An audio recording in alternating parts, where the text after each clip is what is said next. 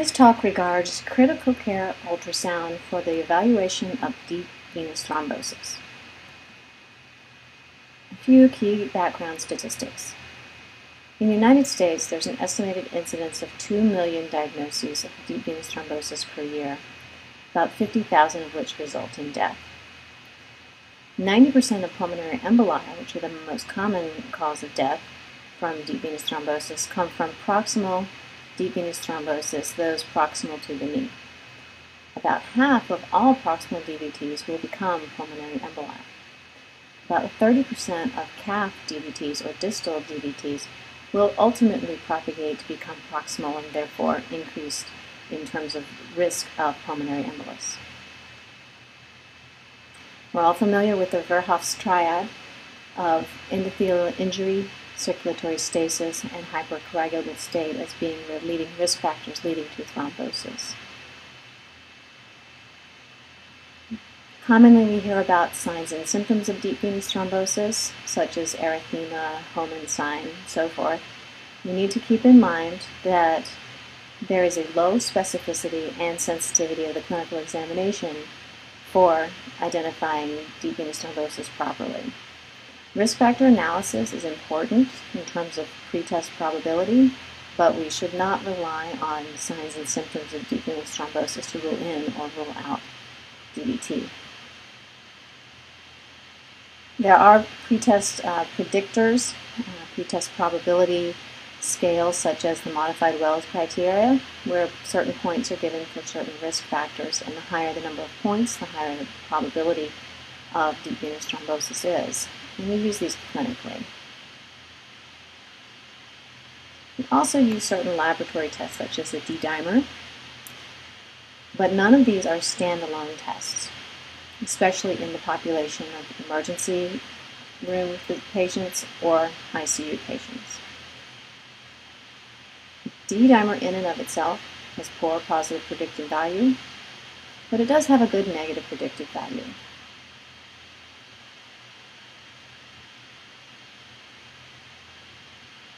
The objective assessment of deep vein thrombosis is as follows. Venography is considered the gold or the reference standard for the diagnosis of DVT.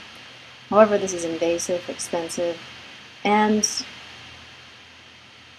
fairly uncommon. Also, we can use impedance plethysmography, but this is only reliable in detecting proximal occlusive thrombi. And compression ultrasonography, which is going to be the focus of our discussion today, has a high sensitivity and specificity for proximal DVT, both of the occlusive and non-occlusive nature. And this is a non-invasive test that's relatively inexpensive.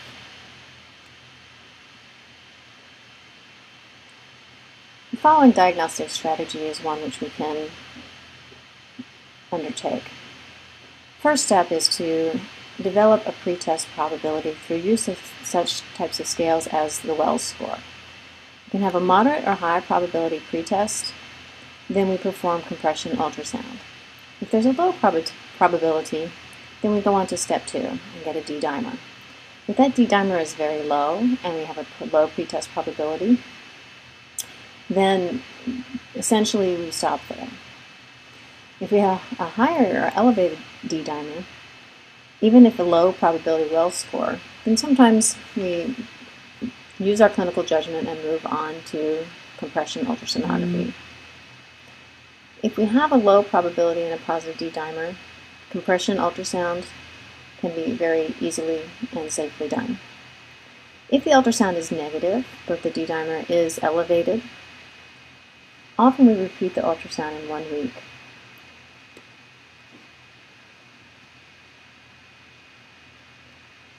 The ability to rule in or rule out a deep venous thrombosis at the bedside is a very powerful tool in the ICU and can really change the management of our patients in real time. The potential uses we have for compression ultrasonography in the critical care setting are to evaluate lower extremity swelling or pain, to add evidence for or against pulmonary embolism in patients who have uh, suspicion for PE and perhaps have a contraindication for CT scan or too unstable to go to the CT scanner. and also for use during a code situation of PEA arrest as part of the assessment for reversible causes. Here's a clinical scenario. Patient who's clinically unstable has the following echo. It shows right ventricular enlargement and apical hyperkinesis with right ventricular free wall hypokinesis or akinesis, which we know as McConnell sign. Keep in mind the normal RV to LV ratio is less than 1. And here is the McConnell sign. Some reports say that McConnell sign has a fairly, fairly high sensitivity and specificity for PE, but we also need to keep in mind that these reports did not include patients with right ventricular infarct in their analysis, and that can mimic this appearance. But moving on, if this patient had that clinical picture of hemodynamic instability acutely and an echo that showed right ventricular enlargement and strain, then the next step could be to move down to the femoral veins and perform compression ultrasonography. This image of the same patient having downward compression on the right femoral vein, showing lack of coaptation, lack of the front wall touching the back wall of the vein. When this scenario is found, then it can impact your decision and your management in real time. Just a reminder about lower extremity vascular anatomy. In the femoral triangle, we think of the navel from lateral to medial, nerve, artery, vein, empty space, and lymph node. Here we will usually see the common femoral vein deep and medial to the femoral artery.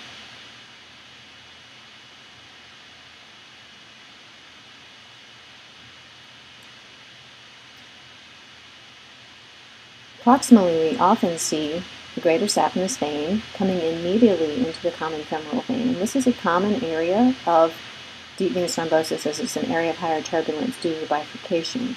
So this is an important area to visualize in our evaluation.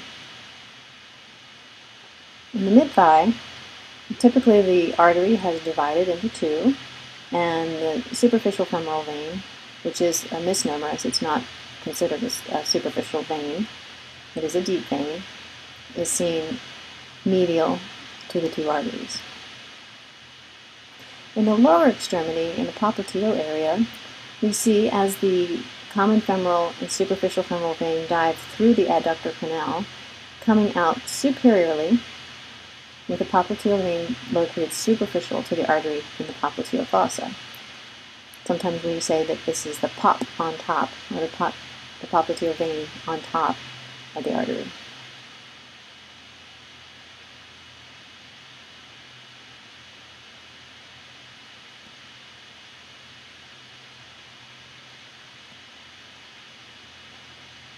Which probe we select is important. Keep in mind that the structures that we'll be visualizing in most of our patients are very superficial, less than 6 centimeters below the surface. So we would choose the vascular probe or the linear high frequency probe. This will give us a low penetration and good discrimination and detail of the tissue layers. The key probe positions, which we focus on in bedside point of care ultrasound for DVT, are two, the proximal femoral triangle,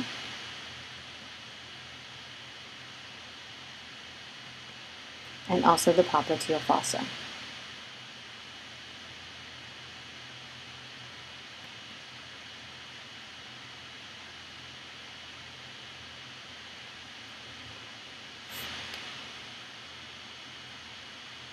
Typically, when you see an ultrasound technologist performing a DVT ultrasound examination, you'll see them marching down the entire length of the femoral vein. So why two-point compression? When you see an ultrasound technologist from the radiology department perform evaluations for DVTs, you'll see them marching down the entire length of the femoral vein, and typically this takes upwards of half an hour. In the ICU, not only do we not have the time to do this, but it's also the evidence does not support um, needing to do this. For instance, in a large case series of greater than 1,000 patients who are suspected of having a DVT, these patients all underwent venography, and there were no cases where a proximal DVT was seen on venography that did not involve at least the popliteal or the femoral triangle. So, an ultrasound of the clot in the popliteal vein or the common femoral vein should identify all significant proximal DVTs. There were no DVTs in this study for more than 1,000 patients who had an isolated DVT in the mid-thigh.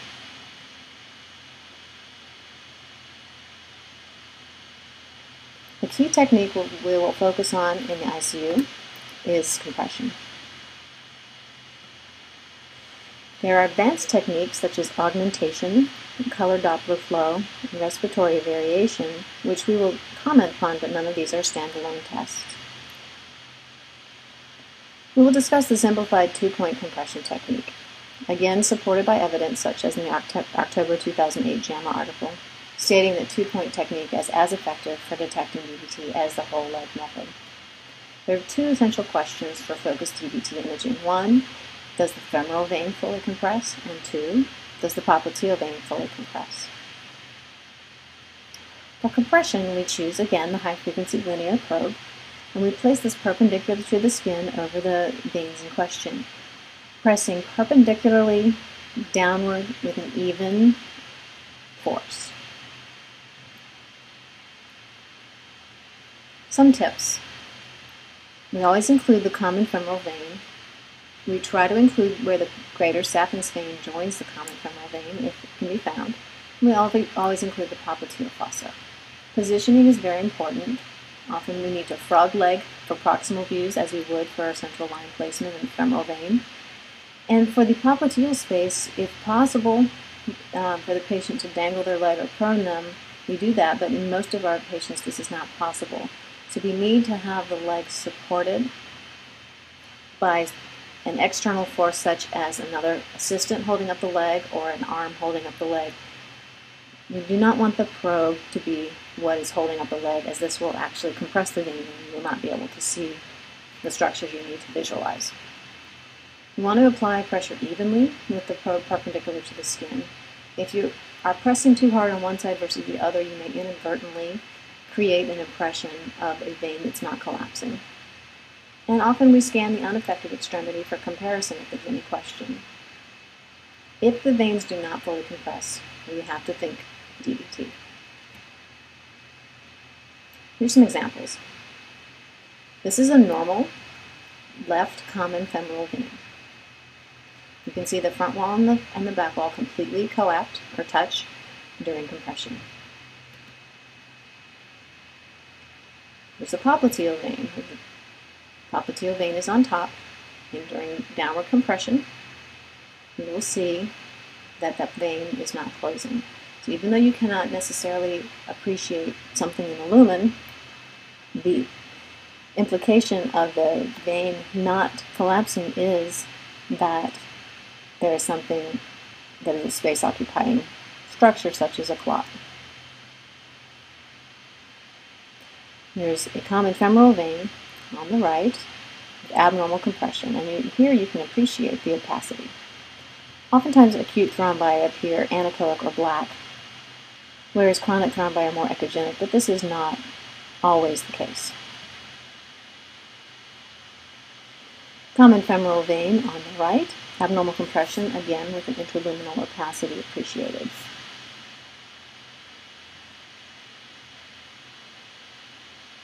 Longitudinal view, we have a common femoral vein compression. compression. The, long, the vein is inferior here. And this is the artery.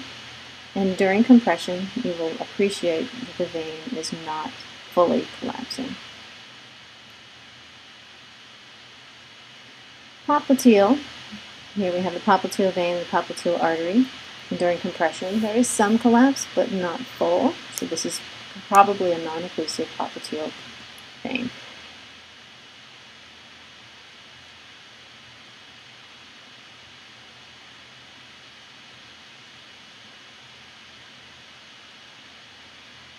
Augmentation is a supplementary technique to compression, but not, again, a standalone technique. What we do here is we're evaluating for unobstructed venous flow distal to the probe. In other words, no distal DVT.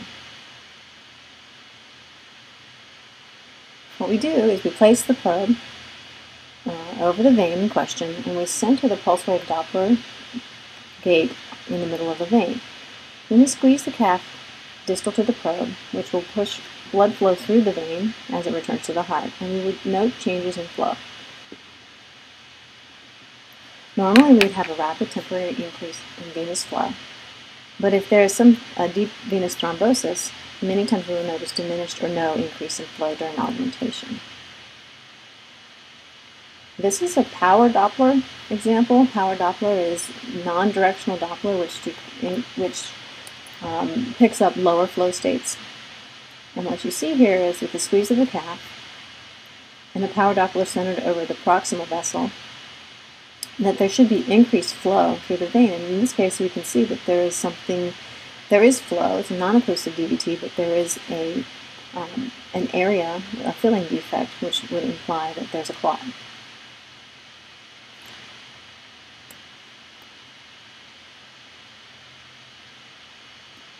Another example with uh, pulse wave Doppler.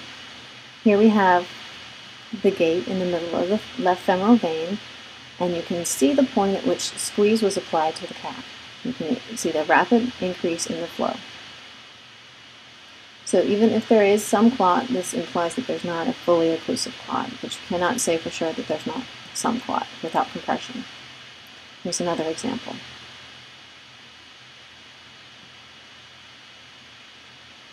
How do we use color Doppler? Well, this is again an advanced technique which will assess flow in the vein. It is not a standalone test. Remember that with color Doppler, you will not see a color Doppler signal when there's flow perpendicular to the, to the uh, probe. So what we need to do is align the color Doppler box parallel to the vessel walls when we're in longitudinal or perpendicular to the vessel walls and then we will want to lean the probe either toward or away from the head so that we have an angle where the flow is either coming towards the probe or away from the probe so that we can get a color signal. If you need to, you can use the gain button to increase color mm-hmm. gain, or you can use power Doppler if you have a lower flow state and you're not trying to uh, appreciate directionality. Here we have an artery with flow, but we have no flow within the vein. And this is an occlusive common femoral vein clot.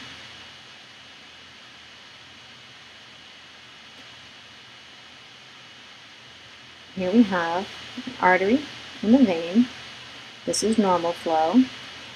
Here we probably recommend turning up the gain just a, a, bit so that this one area of dropout down here is not misinterpreted as a clot. But again, you would want to pair color flow with compression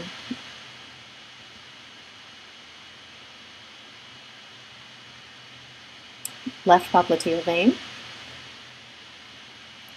We have compression and we have power flow paired here. And we can find that there's a non-occlusive popliteal DVT. We do have some flow, but we have a, a opacity here that is not allowing full compression. So pairing these two together gives you more information.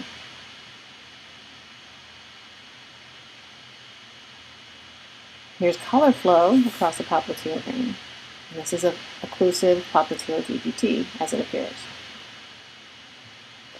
Respiratory variation is not used very often. It is an advanced technique which will essentially tell you whether there's a clot proximal to the vein under evaluation. So if there's a clot in the iliac vein or the inferior vena cava even, then you wouldn't expect to see respiratory variation of flow with changes in intrathoracic pressure in the veins that are more distal to that clot.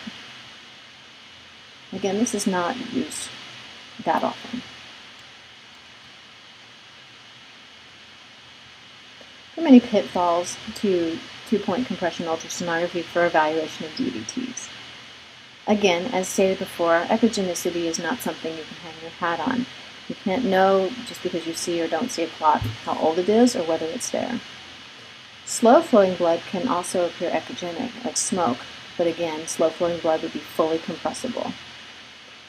In the popliteal fossa, it's very easy to get hung up one side of the probe or the other on one of the hamstring tendons. Here it is helpful to have a linear probe with a smaller footprint if possible, like the L25. If you push too hard, and with the initial evaluation, you may not be able to find the vein to begin with. For instance, if you're holding the leg up with the probe in the popliteal space, you may not be able to find the popliteal vein. So you have to have a very light touch. Morbidly obese patients, sometimes their veins are more than 6 centimeters down, so that high frequency probe with a 6 centimeter depth capacity is not adequate. And there are lookalikes. Some of the lookalikes that are commonly mistaken for DVTs are lymph nodes. Remember that in the femoral triangle we have navel, nerve, artery, vein, empty space, and lymph node. Lymph nodes will appear like a round structure with a center of echogenicity. Many people will mistake this for a DVT. But remember, veins are longitudinal structures. When you catch them in cross section, they're round. When you see them longitudinally, they're, they're linear. Lymph nodes are circular structures. So if you catch them in cross section, they're round, but if you turn longitudinally, they're still round. So if you have any question about whether you're looking at a lymph node or a vessel, turn the probe 90 degrees from cross section to longitudinal and see if the structure that you're looking at becomes longitudinal or stays circular. Here's an example.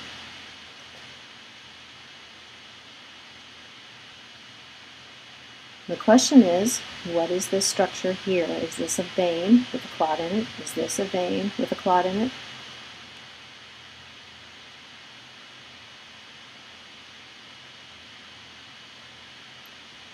About here? So what it ends up seeing is that the, this is a superficial vessel and these are lymph nodes. And actually the deeper vessels are further down here. You need to increase the depth to be able to appreciate those.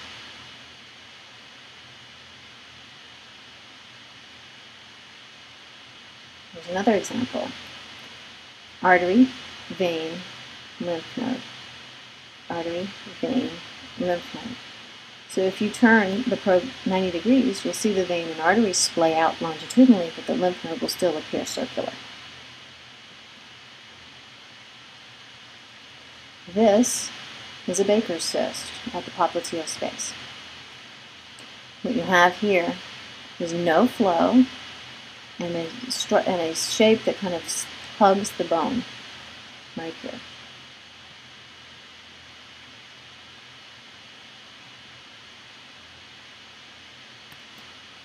Pseudoaneurysms, groin hematomas, pelvic lymphadenopathy that are creating external compression of vessels, all can make two-point compression uh, somewhat challenging. You want to always assess the positioning, color, pulse wave Doppler to further delineate exactly what you're looking at if there's any question. And obviously, if there's any question um, at all, we can obtain a formal ultrasound. So the question now is, should we be doing this? Can we be doing this? Well, yes, there are many studies that show that two-point evaluation for DVT of lower extremity has been validated and is accurate. Two-point evaluation is well accepted, actually, in the emergency room as an effective decision-making tool, but we use it in conjunction with clinical judgment and pretest probability few of the key studies. This is a study by Blaivas. A prospective comparison of duplex ultrasonography by radiology with bedside two-point compression by ICU or ED doctors. And there was a 98% correlation between the two studies. However, the mean scan time of the ICU and emergency physician doctors was four minutes, which is much, much reduced over the radiology scan time and turnaround time. In the comment to this study is the bedside exam was accurate, but augmentation they did find was not an accurate test in isolation. Another study did a prospective evaluation of two-point compression, withholding anticoagulation if the two-point compression was normal. And the question was, if we make clinical decisions based on the results of two-point compression, are the outcomes for the patient in the long term any different? And what they found was about 0.7% complication rate during the follow-up period using the clinical algorithm of pretest probability and two-point compression. And this was essentially the same complication rate seen with formal radiology. And the comment here was that it's safe to defer anticoagulation based on two-point compression when the two-point compression ultrasound is normal. Another study in 2004 looked at resident-performed compression ultrasonography for DVT. Here was a prospective study, patients presenting with signs or symptoms of proximal lower extremity DVT. Each patient both got a vascular and Department of Radiology study. And the results showed that there were eight residents who had limited ultrasound experience, no prior experience with DVT ultrasound, and they looked at 72 patients. The average scan time here was 12 minutes, with a sensitivity and specificity that were very high.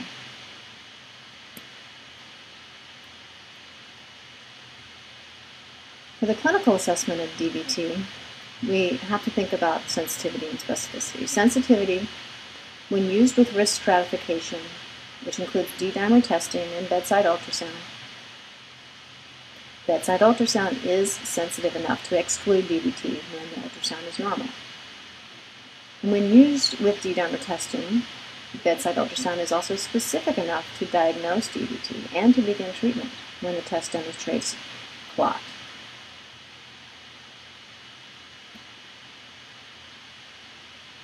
Few more sample images. Here is a femoral DVT. Right here.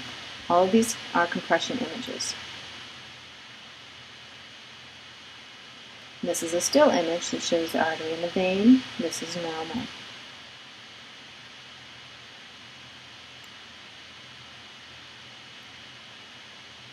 Longitudinal view, we have the vein with what appears to be a opacity in the lumen. And here we have a popliteal vein that fully compresses.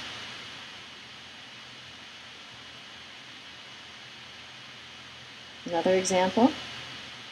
This is a femoral vein.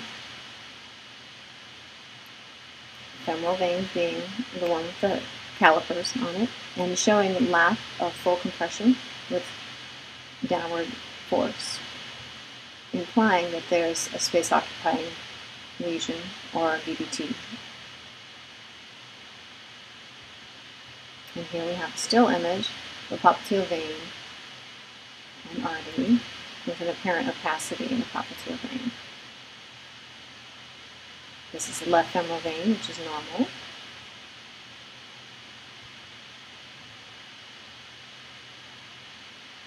And here we have a right femoral vein which has a plot. Longitudinal view. It would be best to angle this box so it was parallel to the walls, but here the absent flow in um, the situation of DVT in the vein.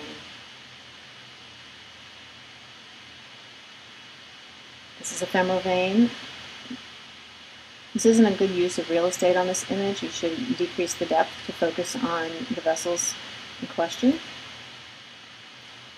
But what we're seeing here is actually what looks falsely like a DVT. It looks like the walls are not fully coming together, but in actuality, this is uneven compression, more compression on one side of the probe than the other, creating this false positive. A few samples. A 42-year-old woman with breast cancer and a portacath who presented with dyspnea, and this is her internal jugular vein. With gentle compression, there looked to be something that was not allowing full compression. When the collar was placed, we see some flow, so non-occlusive deep venous thrombosis of an internal jugular vein.